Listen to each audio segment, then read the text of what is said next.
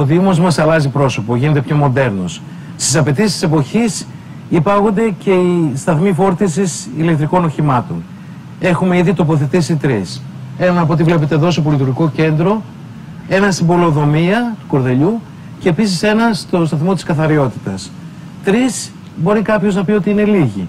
Αλλά είναι η αρχή για άλλους 100 που θα τοποθετηθούν. Έχει εξασφαλιστεί χρηματοδότηση και αυτοί οι σταθμοί θα τοποθετηθούν μέσα στο επόμενο διάστημα. Όμως θα πρέπει όχι μόνο να σεβόμαστε τις θέσεις πάρκινγκ αμαία που έχουν δημιουργηθεί για τους ανθρώπους με ειδικές ανάγκες, θα πρέπει να σεβόμαστε και αυτούς τους σταθμούς. Και να φροντίζουμε να μην τους κλείνουμε με τα αμάξια μας.